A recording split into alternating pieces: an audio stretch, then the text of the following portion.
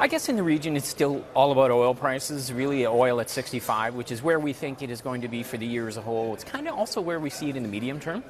And when we kind of step back and think about oil at that level, it doesn't drive it doesn't drive ratings, shall we say. It's not high enough to, to worry if you're an oil importer like Turkey or you know Lebanon or something. And uh, you know, but it's not it's not high enough to actually pull the uh, pull the ratings higher for the for the oil exporters. So, you know, it's all about transitioning away from oil. Uh, there's a lot of discussion about that, but you know, Where do you I think see them on that scale? um, you know, look, this is about employment generation. I think if we if we're talking about Saudi Arabia, it's really about employment generation. The labor force is growing very quickly. Oil doesn't employ a whole lot of people. Uh, it's a capital-intensive industry. It's not a labor-intensive industry. So the there's a demographic uh, imperative to to look at diversifying the economy. The government can't provide the jobs. The oil sector can't provide the jobs. So you need a private sector to generate employment.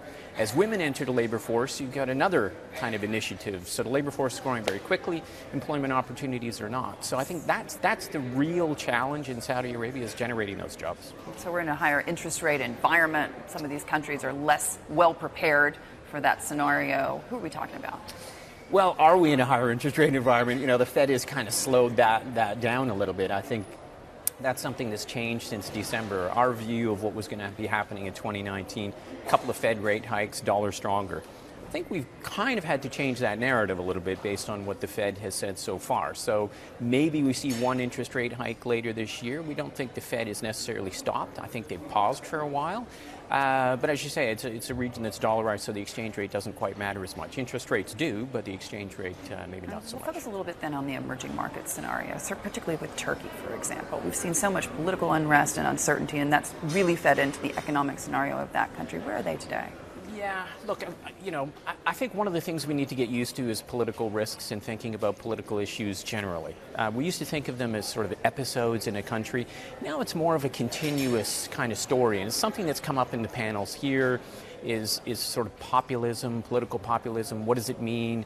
It is a shift, isn't it? Because I was sitting here last year and I get these ministers on board and they just refuse to acknowledge that political risk is something that's going to weigh mar- on markets or on oil. Exactly. And now they I can't think that get away from refusal it. to acknowledge it, you know, is, some, is something we need to we need to really acknowledge and think about what that is, what that means.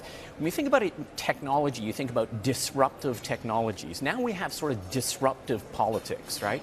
And things can change uh, very quickly, and, and investors need to be aware of that. It can happen. You know, there was there was talk in Europe of being post-peak populism in, in 2017 with the election of, of uh, President Macron, right?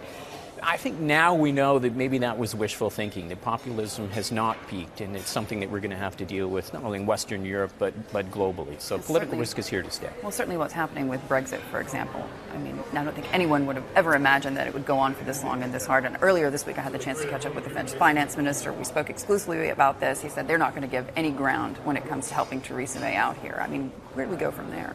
Uh, I wish I knew. I, I, I, don't, I don't think anyone really knows how this is going to turn out, you know. And, and the, the worrying, the most worrying aspect of it is we're, we're 40 days away.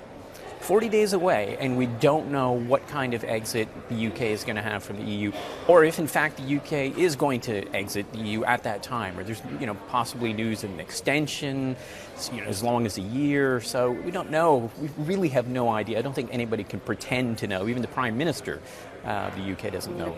Everybody, it's Hadley Gamble from our new CNBC Middle East Bureau in Abu Dhabi. Thanks for stopping by. Now to watch more, you can try one of the videos that just popped up on your screen. And don't forget to subscribe.